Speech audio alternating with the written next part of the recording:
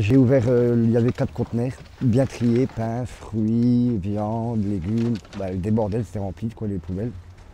Et du coup, là, j'étais, comme j'étais tout seul, je vivais en tente, euh, j'ai pris ce que je pouvais prendre pour moi, comme j'ai pas de frigo, j'ai très très bien mangé. Du saucisson, j'ai mangé, euh, il y avait quoi? Il y avait du poulet rôti, emballé sous vide. J'ai mangé beaucoup de fruits aussi, des pêches, des bananes. Je me nourris 50% de récup et 50% d'achat. Dans les 50% de récup, on peut compter une partie de récupération de supermarché et une autre partie de récupération plutôt de marché du coup de, plutôt de fruits et légumes frais, etc. mes parents, mes amis, ils le savent, euh, ils savent que, je le fais. Euh, après, ils, étaient plutôt réticents au début, euh, ils comprenaient pas trop. Je me suis rendu compte qu'il y avait toute une organisation qui était mise autour de la récup. Donc une fois par semaine, on se retrouvait chez un copain. Il y a deux voitures, une ou deux voitures qui partaient dans les poubelles des supermarchés et une autre équipe qui euh, les attendait sur place. Quand ils revenaient, la deuxième équipe s'occupait de tout le nettoyage des, euh, produits qui revenaient des poubelles. Et ensuite, on redistribuait ça en différentes euh, cagettes qui partaient pour démaisonner des colocs. Il y avait plusieurs personnes à la cuisine et on essayait de faire des bons repas collectifs pour tout le monde, des bons desserts aussi.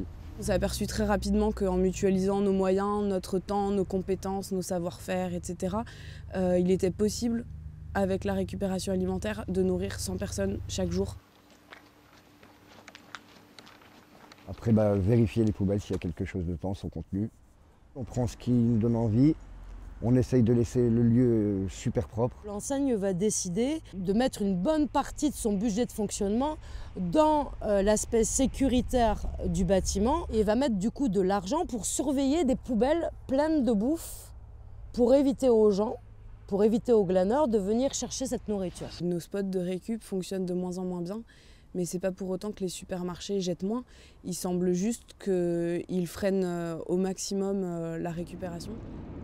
On a le droit qui est clair sur l'alimentation et qui dit que c'est accès pour tout le monde, euh, que c'est en redistribution directe euh, ou par un échange monétaire ou pas, mais que ça doit être de la redistribution directe, euh, sans frustration, sans angoisse et de manière inconditionnelle.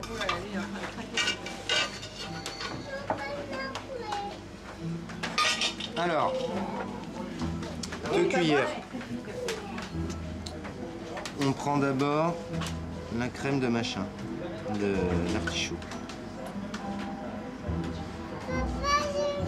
L'idée c'est que ça tombe dedans sans toucher les bords.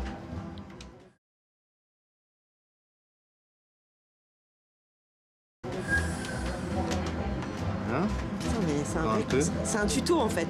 C'est un tuto, c'est un, tuto YouTube. Tu veux une petite cuillère? Il y en a plein dans à l'intérieur. Ah bah, je vais aller en chercher une. Il pleut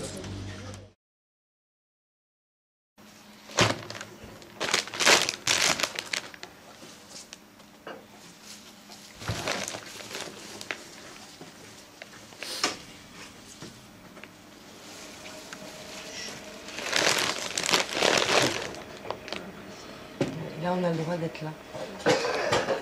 C'est ça, ouais. Putain, du coup, tu peux faire des images tranquilles. Hein. Ça change tout. C'est trop bien. Vous me faites penser à fermer le gros camion frigo là-bas, je l'ai pas fermé. Je l'ai pas fermé.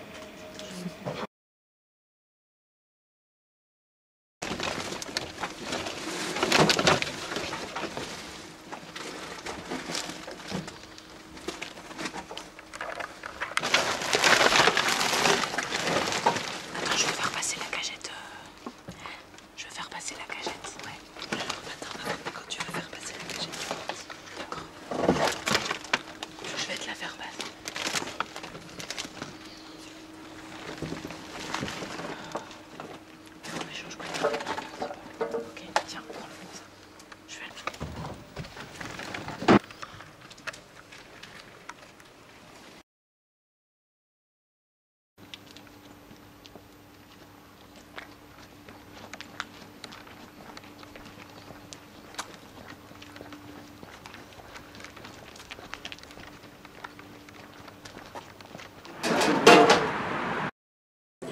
よろしくお願いしま